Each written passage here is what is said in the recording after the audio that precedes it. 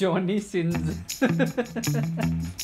अबे Johnny Sins chat में आया भाई सर बिग फ़ैन सर गलत साइड पे आ गए I play this game with Danny and Mia. oh boy, such a nice game, bro.